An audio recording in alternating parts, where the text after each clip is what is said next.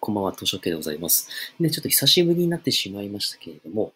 えっ、とですね、地産地消。まあ、千葉県の地にですね、産んで、千葉県で消費すると。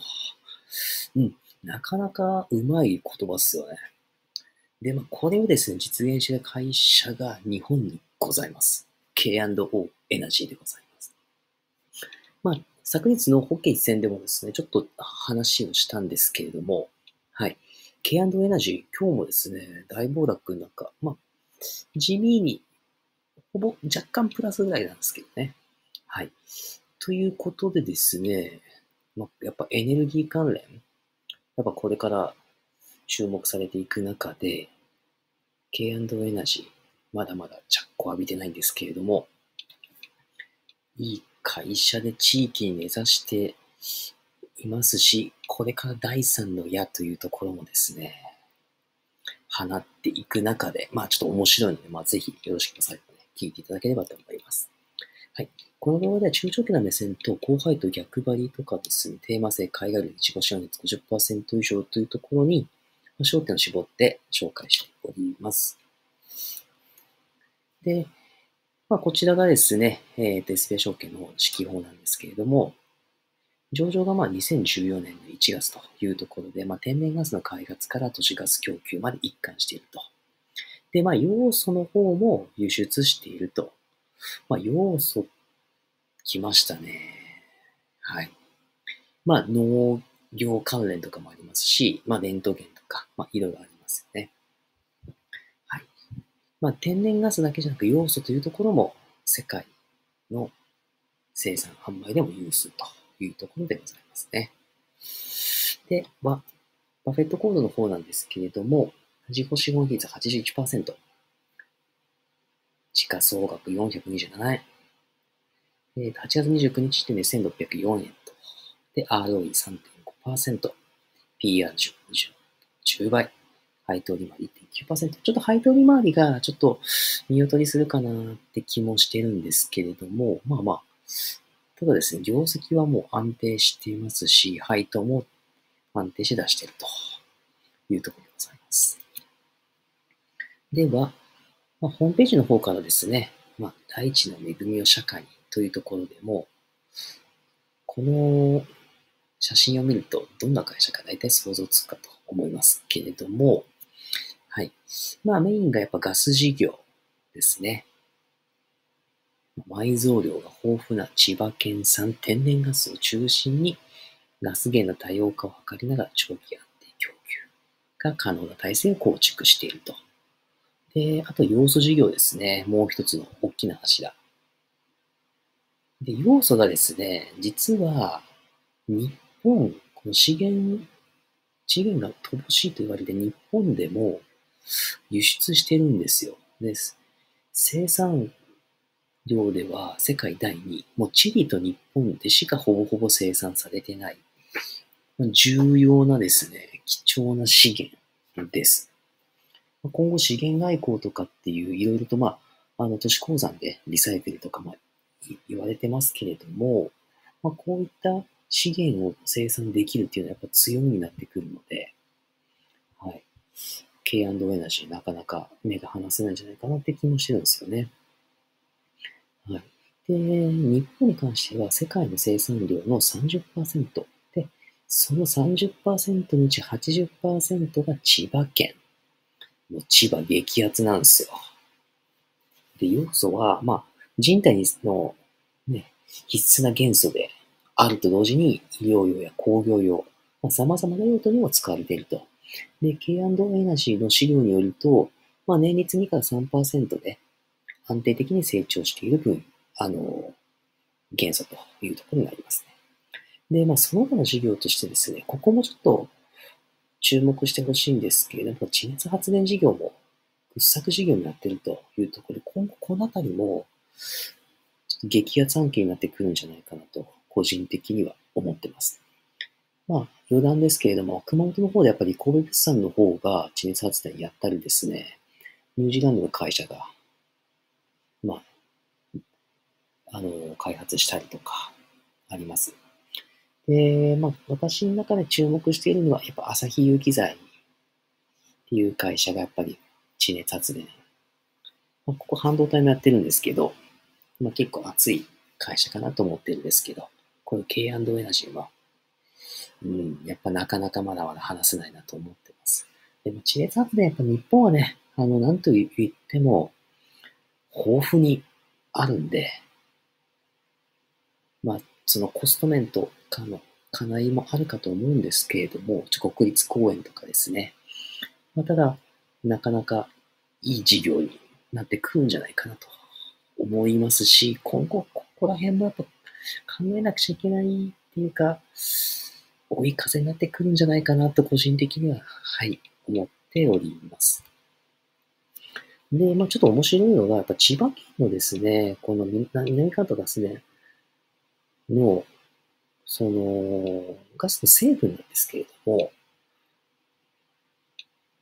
なんとですね、2000倍の要素を含んでるみたいなんですよ。まあ、なので、こういったところがやっぱり要素が豊富に取れるというところですね。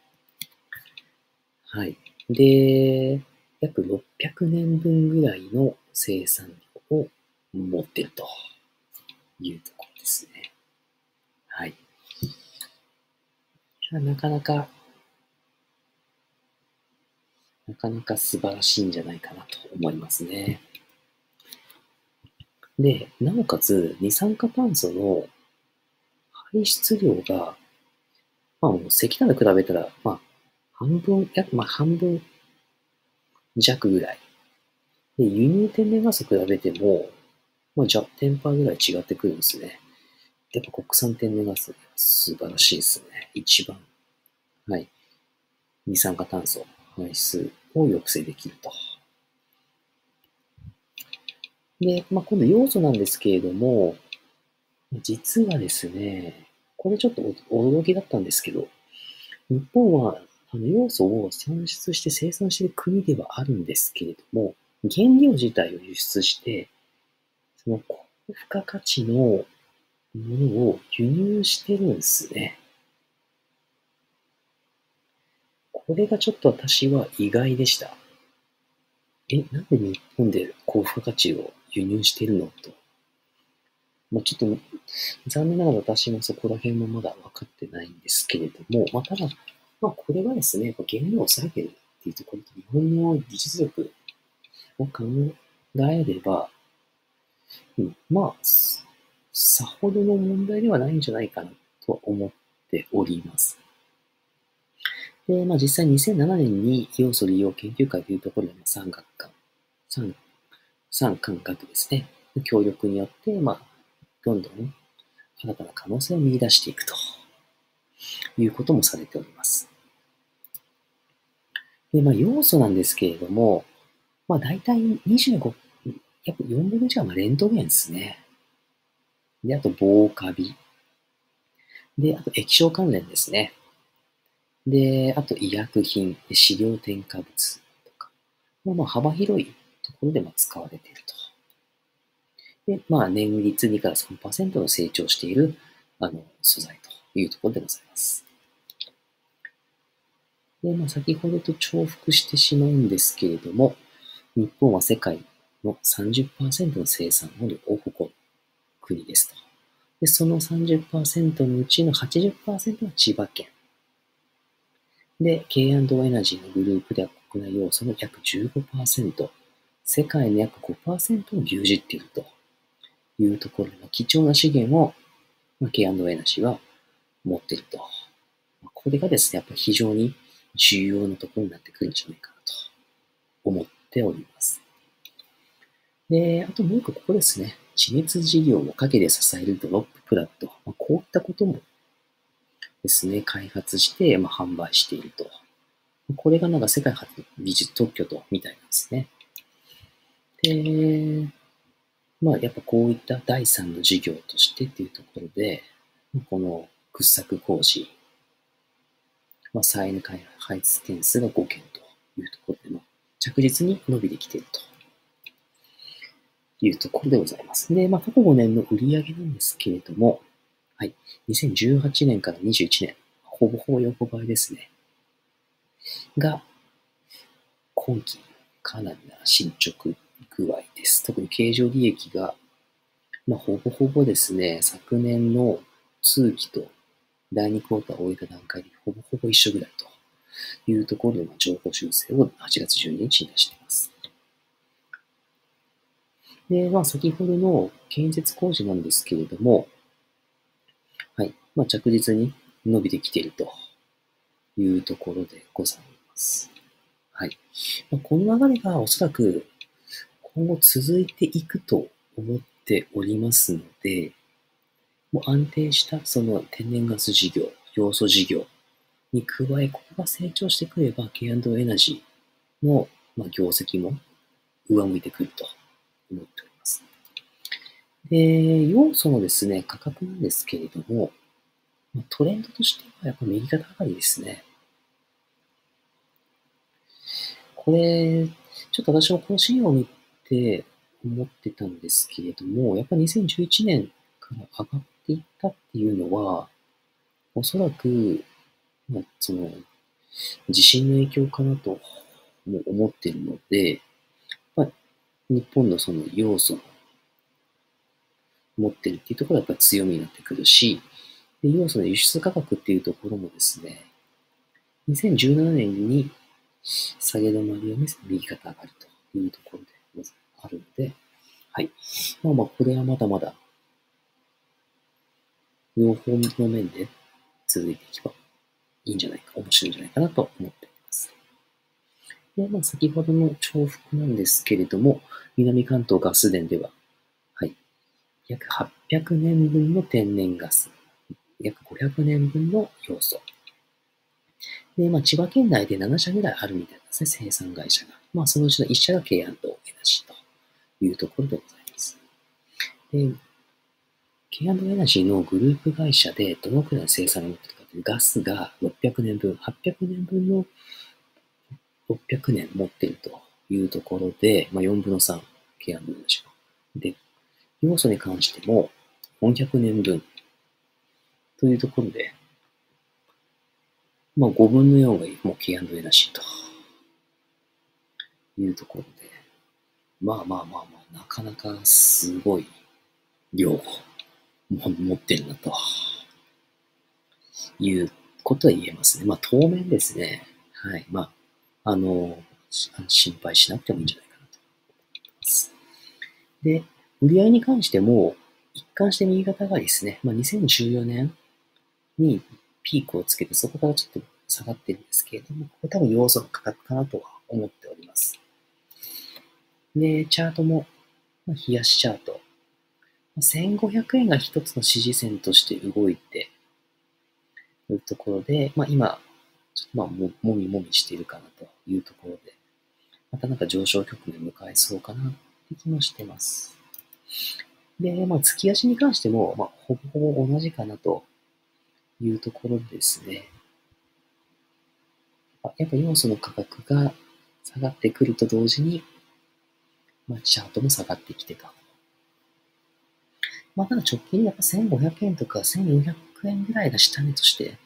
機能しているので、まあ、上向きやすいんじゃないかなって気も長期的なスタンスではしております。まあ、結論としては、あの、まあ、長期のスタンスで見れば非常に面白いんじゃないかなと。まあ、この暴落した時に、はい、コツコツ買っていけば、まあ、いいこと起こるんじゃないかなって気もしてますし、まあ、特に下の地熱発電のところは、ちょっとまあ、なんとも言えないんですけれども、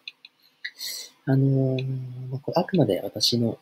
個人的な意見なんですけれども、やっぱり太陽光っていうのはどうしても日本に不向きなんですよね。まあ、地震がありますし、まあ、そもそもの発電量の問題とか、太陽光パネル破棄問題とかあります。リサイクルできませんしね。で、一度火事が起きたらとか、地滑りでとか、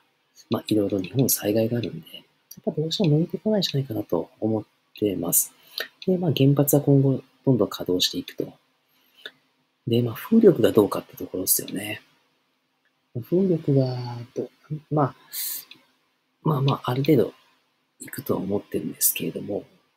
まあ、とはいえ、まだまだコスト、コストの問題とかありますし、で、まあ、地熱発電もやっぱコストの問題あると思うんですけれども、日本って豊富な資源があるので、やっぱそ使わない手はないかなっていうところですね。個人的には地熱発電。ちょっと注目して、下がったところはどんどん、はい、買っていって、こういうようなところですかね。はい。まあ、なので、地熱発電は、まあ、朝日有機材が個人的にはあれなんですけれども、まあ、大体やっぱ、まあ、定番としてアストマックスとか、